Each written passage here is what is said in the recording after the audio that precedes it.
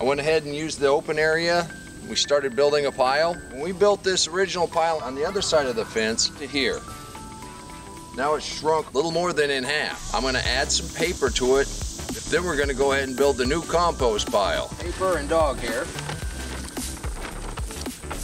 So just scatter this around. Using the vines as a base, it won't be so compacted. It allows a little more air. I'm gonna add some greens. This is fresh this morning, so this is good and moist. Let's turn in some of the old, already composted pile.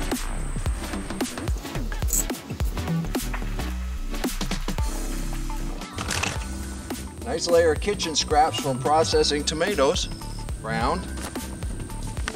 And there you go. Another regulation, hot compost turning,